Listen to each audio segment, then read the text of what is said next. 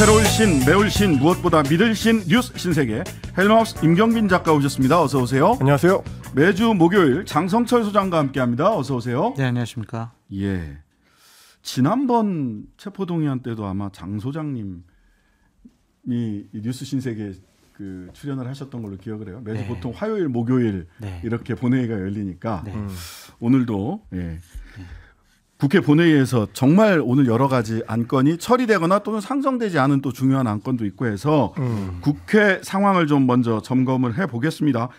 가장 큰 뉴스는 아무래도 이재명 민주당 대표에 대한 체포동의안이 국회에서 가결됐다는 소식입니다. 그렇습니다. 오늘 본회의에서 체포동의안 표결이 있었고요.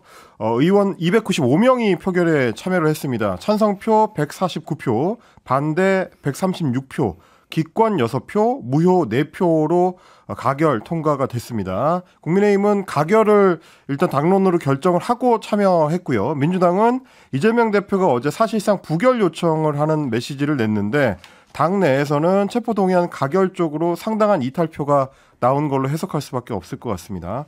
어, 지난 2월 27일 본회의에서 체포동의안 표결할 때는 찬성 139, 반대 138, 어, 무효 11명, 기권 9명이었는데 이 당시 숫자랑 비교해 보면 당시 이제 무효표하고 기권표를 던졌던 표심 중에서 한 10여 명 정도가 추가로 찬성 쪽에 이 가담해서 이동한 걸로 보입니다.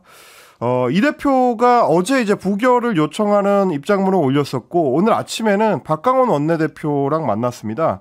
당을 통합적으로 운영하겠다라고 이제 입장을 추가로 밝히면서 이 표단 속에 나선 거 아니냐라는 해석들도 있었는데 그럼에도 불구하고 체포 동의안이 가결되면서 어, 당 내에서 이재명 대표의 리더십에는 상당한 타격이 이제 불가피할 걸로 보입니다. 민주당 이소영 원내대변인은 예상 못한 결과라 많이 놀랍고 충격적이다. 어유 이소영 원내대변인은 보니까 울먹이더라고요. 네, 브리핑을 하는데 이제 말을 잇기가 좀 힘들어할 정도로 울먹였는데 어, 지도부가 의원들에게 여러 차례 부결 호소를 했는데 다른 결과가 나왔다 안타깝다 이런 입장을 밝혔고요. 어, 지도부는 일단 지금 의원들을 대상으로 긴급 회의를 어, 소집한 걸로 어, 보입니다. 어, 좀 전에 좀 전해지는 소식 보니까 이제 국민의힘 같은 경우도 어, 오후 8시, 9시에 이제 비상의총을 한다라는 얘기가 들리고요. 국민의힘 강민국 수석 대변인 같은 경우는 방탄을 위한 어떤 꼼수도 법치를 피해갈 수 없으니 다시 한번 입증됐다라고 입장을 내놨습니다. 그 2월 27일 날 있었던 체포동의안 어, 투표 현황하고 비교를 해보니까요. 찬성은 10표가 늘었고요. 반대는 2표가 줄었는데 이거는 윤관석, 이재명 두 분이 투표를 안 했기 때문에 음. 반대 2표가 준 것으로 보이고 무효가 11표에서 4표로 7표가 줄어들었고요. 기권이 9표에서 6표로 3표가 줄었습니다. 즉 요거를 그냥 평면적으로 비교를 해 보면 무효표와 기권표에 잠시 파킹했던 민주당 쪽 의원들이 10명이 찬성 쪽으로 가면 딱 이 숫자가 그렇습니다. 맞아요. 근데 이제 정의당의 강은미 의원인가요? 음. 그는 공개적으로 자기는 이거는 어, 부결에 표를 던지겠다라고 얘기를 했어요. 진보당도 이제 부결을 네, 당론으로 그렇다면은 민주당의 이탈표가 좀 더 지난번보다는 더 늘었다라고 해석을 하는 게 맞는 것 같습니다. 그 149가 되려면 강은미 의원을 하나를 빼면 30표가 넘어가야 됩니다. 네. 30표. 계산을 그러니까요. 쭉 해보니까 강은미 의원이 정의당 당론이 가결임에도 불구하고 만약 부결 투표를 했다면 민주당 쪽에서 30명 이상. 정도가 넘어가야 됩니다. 그러니까 조정훈, 양향자, 황보승이, 하영재 등이 모두 찬성 표결을 했다, 가결 표결을 네. 했다라고 하면 30명이 네. 넘어가야 된다. 네. 자, 파장이 만만치 않아 보이는데요. 저는 어떤 파장, 정치적 영향이 있을까요, 장 소장님? 저는 결론적으로 말씀드리면 국민의힘이 큰일 났다라고 말씀드릴 국민의힘이요? 네. 오히려요? 네. 음. 왜냐면은 민주당은 내년 총선에 가장 중요한 부정적인 변수가 사라질 수 있는 기회가 됐어요. 그러니까 영장 실질 심사 받으러 가서 만약에 판사가 구속 영장을 네. 발부를 하게 되면은 이재명 당대표는 민주당 당대표직으로 유지하기가 불가능할 거예요. 음. 본인은 옥중 공천하겠다. 지지자들이 그렇게 요구하더라도 네. 당 대표가 감옥에 있는데 당 대표의 권한을 행사한다. 이것은 못 견뎌요. 그냥 의원들이 이 부분 못 받아들일 거예요. 그래서 이재명 당 대표가 당 대표를 그만두면 보다 더 합리적이고 상식적인 지도 체제를 구축할 수 있다고 보여져요. 음. 우리가 여론조사를 쭉 살펴보면 내년 총선에 여당을 심판해야 돼. 이것은 어, 여당을 견제해야 돼라는 여론이 더 높은데 네. 민주당을 찍겠어라고 하면은 그 수치가 대단히 좀 낮아져요. 음. 그건 저는 이재명 당대표 때문이라고 생각을 하거든요. 그런 것들을 보면 이재명 당대표라는 죄송합니다만 그러한 본인들이 선택하는데 걸림돌이 없어지면 내년도에 민주당을 선택하겠다라는 비율이 더 높아질 수 있다고 저는 생각이 들어요. 음. 그래서 내년 총선에 국민의힘은 대단히 악재가 발생했다라고 말씀을 드립니다. 오히려 자 민주당 내부에서는 어떤 파장이 있을까요?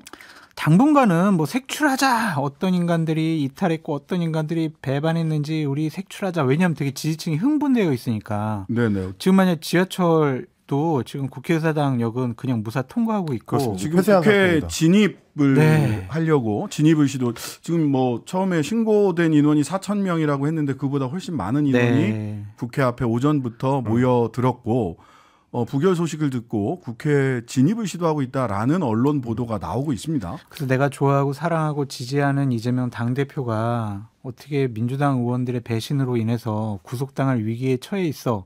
이거 정말 이 정치권, 민주당 가만두면 안 돼. 그렇게 생각하는 지지층이 계시겠지만 좀 흥분을 가라앉히시고 보다 더 장기적으로 생각을 해 보시면 일단은 민주당으로서는 다시 한번 국민의 관심과 사랑을 받을 수 있는 중요한 계기가 됐다라고 판단하시는 것이 좋을 것 같아요. 근데 이제 네. 오늘 의원총회가 이제 표결에 앞서서 오후 1시에 있었는데 네. 거기서 이제 뭐 비명 게임에도 불구하고 이제 발언권을 얻은 의원은 그런 얘기도 하더라고요. 본인도 이제 이 사안에 대해서는 비판적으로 보지만 그럼에도 불구하고 당이 이제 쪼개지는 걸 막기 위해서 나는 이제 부결 투표하겠다라고 어 공언한 분이 있었거든요. 혹시 이렇게 막 당이 어, 어떻게 보면 사분 오열되는 그런 분위기에서는 뭐 탈당을 하는 일부 가능성이나 뭐 당이 쪼개질 가능성이 이런 거 없어요. 저는 부결됐으면 오히려 그 비명 계원들이 탈당할 수 있는 명분이 있기 때문에 음. 분당 가능성이 있었는데 가결됐기 때문에 새로운 지도 체제를 구축할 수가 있단 말이에요. 그러면 비명계들이 본인들 목소리나 주장을 훨씬 더 강하게 낼 수가 있기 때문에 분당 가능성은 전혀 없다.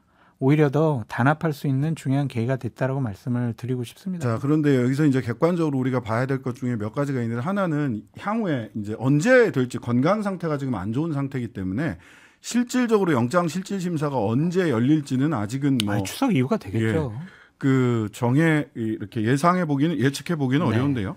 영장 실질 심사가 벌어져서 실제로 영장이 발부됐을 때와 발부되지 않았을 때 굉장히 상황이 달라질 겁니다. 기각되면은요 이재명 당 대표는 이제 사법 리스크를 완전히 떨어버리고 네. 이제 야당의 지도자로 우뚝 설 수 있는 중요한 계기가 될 거예요. 네. 오히려 당내 분란도 없어질 거예요. 왜냐하면은 이재명 당 대표를 비명계 의원들이 공격했던 이유가 파라 당신 사법 리스크 때문에 우리가 칠질질 윤석열 정권과 한동훈 검찰에 끌려다니고 있지 않느냐. 당신 때문에 우리 내년 총선 전망 어둡다.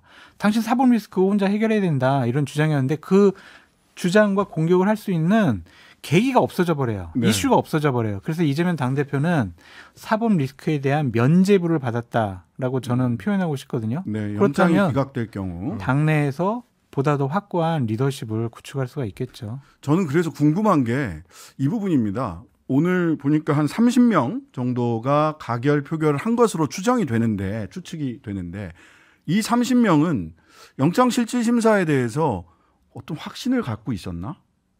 왜냐하면 기각되고 돌아왔을 때 본인들 이 가결 투표를 가결을 선택한 민주당 의원들 같은 경우는 사실은 정치를 계속할 수 있을지 민주당 안에서에 대한 극도의 불안감이 있었을 거거든요. 근데 신행커님 오늘 네. 뭐 이제 한동훈 법무부 장관이 예. 그 국회 나와서 한 얘기 그리고 구속 영장 체포 동의안 뭐 내용들이 좀 알려지기 시작을 했잖아요. 그런 것들을 보면 여러 가지 그동안 알지 못했던 증거, 증언, 진술들이 있기 때문에 영장 실질 심사에서 기각이 될 가능성은 좀 낮다고 보여지고 음. 이재명 당 대표도 본인이 이게 체포 동의안이 이제 가결이 되면 법원에 가서 구속영장이 발부될 가능성이 높다라고 생각을 했기 때문에 어제 그러한 SNS에 우리가 이해할 수 없는 입장문을 어제 타이밍에 냈고 오늘 아침에도 박광원 원내대표랑 당내 문제에 대해서 본인의 권력을 조금 내려놓고 나눠 갖겠다라는 타협점을 찾은 거는 이 체포동의안 부분을 부결시키기 위해서 본인 노력한 것이 아니냐. 왜냐? 구속영장 발부될 가능성이 높기 때문에 자, 요것도 한번 좀, 그, 저는 뭐 영장과 관련해서는 뭐 의견들이 제 예측이니까요. 예, 네. 실질 심사를 해봐야 아는데 제가 궁금한 것은 영장 어떻게 될지 아무도 모르는 음. 상황이거든요. 그런데 30명은 어떤 확신, 어떤 정보를 가지고 있길래 어떤 확신으로 가결의 투표를 했을까? 근데 이제 제가 취재를 해봐서 당내에서는 그렇게 분석을 하더라고요. 그 뭐 30명까지는 아니더라도 네. 처음부터 이제 계속 그 가결 쪽을 주장했던 국회의원들 같은 경우는 영장이 발부될 것이라는 확신보다 반대 입장에서 이재명 대표가 내년에 공천권을 행사할 경우에 자신한테 돌아오게 될 공천 불이익에 대한 확신이죠. 맞아요. 거꾸로 생각하면 네. 그러니까 이제 공천에서 어차피 불이익을 받을 거라면 반드시 이재명 체제가 이제 무너져야 되는 게 아, 그 국회의원들의 이 본인 정치적 이익이기 때문에 그쪽에 배팅한 게 아닌가. 오히려 영장보다 그게 더 중요하다. 이렇게 봤을 가능성도 아니 있을 것 그러니까 같습니다. 영장이 기각돼서 이 대표가 사법 리스크를 우리 장 소장님 말씀하신 대로 해소하고 돌아왔을 경우에 본인의 공천은 음. 더 힘들어지는 거 아니냐는 거예요. 그러니까 건 어차피 거죠. 때문에. 네, 한식이 승부수를 주구나 걸었다. 청매 주구나 그냥 그러니까 마찬가지다. 30명은 이재명의 구속에 승부수를 걸었다. 자신의 정치 인생의 승부수를. 그렇게 봐야 되겠죠. 왜냐하면은 참- 국회의원들이 이제 총선 참- 앞두고는요 공천과 총선 당선에 목숨을 걸어요. 딴 거 다 안 봐요. 조금이라도 자신의 음. 공천의 가능성이 높은 곳에 배팅을 하겠죠. 네. 그 어쨌든 지난번 2월 27일 그 투표 결과와 오늘의 투표 결과를 비교해 봤을 때 자, 어, 소위 지난 9개월 동안 이재명 대표가 소위 비명 내지는 반명 의원들을 뭐 설득하겠다 이런 등등등의 노력을 기울였는데 그것이 한편으로 보면은 결과적으로는 단 한 사람도 설득을 못 시켰다. 그렇게 보여지네요. 예. 네. 이거는 설득하는 사람의 잘못인가 아니면 어차피 무슨 노력을 하더라도 난 이재명을 대표로 인정할 수 없어 라고 했던 그분들의 확신은 지난 7개월 동안 오히려 강화돼 왔다. 이렇게 보이거든요. 아, 그렇다면 같은 당을 한다는 건 또 무슨 의미일까라는 질문도 솔직히 저도 정당 생활 해본 사람으로서 그런 질문을 할 수밖에 어, 아니 없습니다. 근데 좀 냉정하게 생각을 하셨으면 좋겠는 게 뭐냐면 야당 지도자 헌정사 이후에 이렇게 좀 범죄 혐의 비리 혐의가 많은 분이 야당 지도자 야당의 당 대표 한 적이 없어요. 그 사법 리스크에 이재명 당 대표가 끌려가는 것은 문제가 아닌데 민주당과 민주 진영이 같이 도매금으로 넘어갔거든요. 이재명 당 대표가 민주화 운동하다가 민주당을 위해서 뭔가를 하다가 지금 정치 검찰이 핍박을 받는 게 아니잖아요. 민주당과 상관없는 본인이 성남시장, 경기도지사 했을 때에 여러 가지 혐의에 대해서 지금 조사받고 있는 거 아니겠어요? 왜 민주당이 같이 끌려가냐고요. 그러니까 분리하시라라고 저 계속 말씀드렸어요. 네, 관련해서는 이따가 그 윤상현, 정상호 어, 양당 중진 의원들에게 좀 이야기를 조금 더 들어보도록 하고요. 오늘 또 검사 탄핵도 헌정사상 최초로 이루어졌고요. 한덕수 국무총리 해임 건의안, 국무총리에 대한 해임 건의도 어, 최초로 이루어졌습니다. 말씀하신 대로 오늘 이제 이재명 대표에 대한 표결 외에도 중요한 표결이 두 건이 더 있었습니다. 하나는 한덕수 국무총리 해임 건의안인데 역시 가결됐습니다. 전자 무기명 비밀 투표로 실시했는데 제적 298명 중에서 295명이 투표에 참여해서 찬성 175표로 가결됐습니다. 아, 총리 해임 건의안이 국회를 통과하는 거는 우리 헌정사상 처음이고요. 어, 1948년 5월에 우리 재헌국회가 출범한 이래로 총리 해임 건의안 발의된 거는 총 9번인데 다 이제 기한 만료로 폐기되거나 의결 정족수 미달로 부결된 바가 있습니다. 어, 2015년에 이 성완종 리스트 의혹을 받았던 이완구 당시 총리 같은 경우는 표결 전에 자진 사퇴를 해서 표결이 이루어지지 않았습니다. 어, 뭐 이번에 이제 한덕수 총리 같은 경우는 가결되긴 했지만 윤석열 대통령이 받아들이지 않겠다라는 입장을 이 밝히고 있는 상태이기 때문에 한 총리는 업무를 계속 이어가게 될 전망입니다. 그리고 말씀하셨던 대로 민주당이 주도했던 현직 검사 탄핵 소추안 안동환 검사입니다. 그렇습니다. 이제 소위 말하는 이제 어이 어, 보복 기소. 보복, 어, 보복 기소를 했다라는 이제 의혹을 받고 있는 안양지청의 안동환 검사. 아니, 그건 의혹이 아니라 대법원 판결입니다. 공, 아, 그렇죠. 그 예. 공소권 남용에 의해서 공소 기각됐기 때문에 대법원에서 어 이두봉, 이시원, 안동환 이 음. 세 사람에 대해서는 공소권 남용으로 이 세 사람이 관여했던 사건에 대해서 공소권 남용에 의해서 또 그렇습니다. 처음 파- 첫 판결입니다. 그러니까 유성 씨의 이제 대북 송금 특권, 아 대북 송금 사건을 담당해서 어 이게 이 관련해 가지고 이제 보복 기소를 했다라는 이 혐의를 받고 있고요. 그래서 이제 오늘 통과가 됐기 때문에 헌법재판소가 앞으로 탄핵 소추에 대해서 예, 심사를 하게 됩니다. 아, 근데 법무부 에서는요 지난 9월 20일 날 이게 국회 안동환 검사에 대해서 어, 보고가 됐거든요 탄핵안이 보란 듯이 부산지검 2차장 검사로 승진 발령했어요.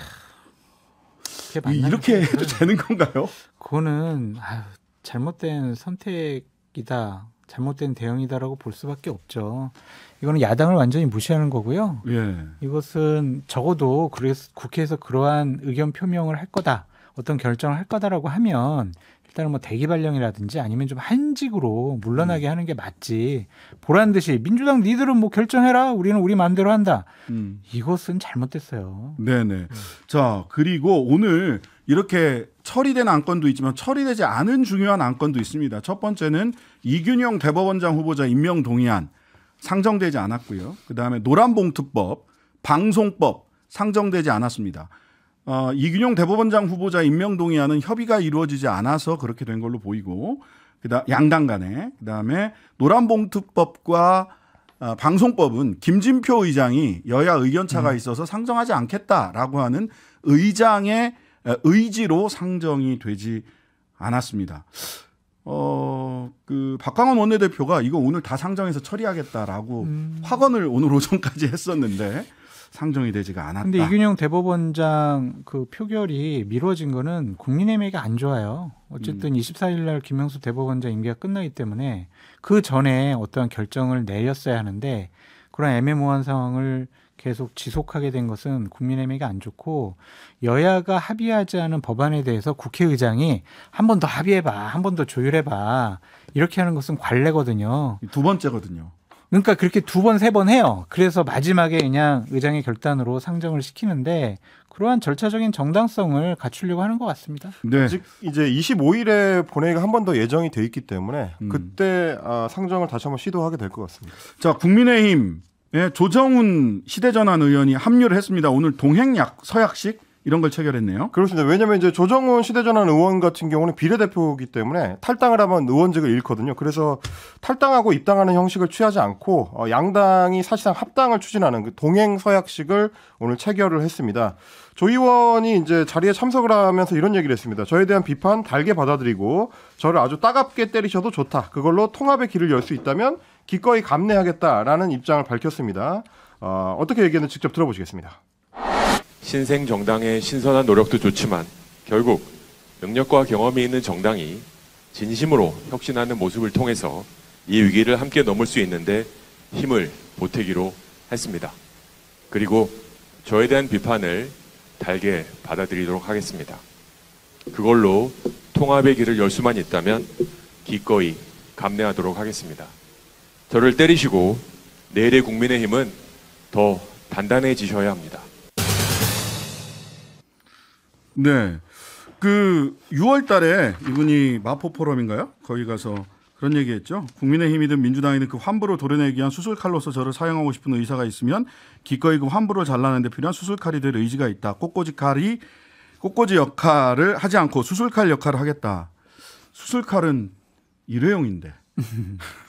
저는 이렇게 진영을 바꾸는 정치인에 대해서 좋은 평가를 할 수가 없다. 진영을 바꾸더라도 그 야당으로 가면은 저는 인정을 해요. 근데 하지만 여당으로 옮기는 분들은 자신의 권력욕을 채우기 위한 수단으로 이용한 것이 아니냐라고 볼 수밖에 없어서 비판하고 싶습니다. 네, 지금까지 뉴스 신세계 임경빈, 장성철 두 분과 함께했습니다. 감사합니다. 고맙습니다.